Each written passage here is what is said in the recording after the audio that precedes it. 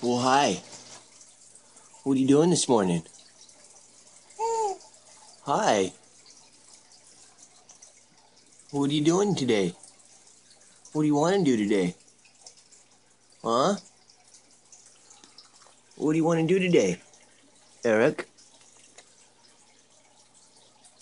We gotta find something to do. Yeah. We gotta find something to do.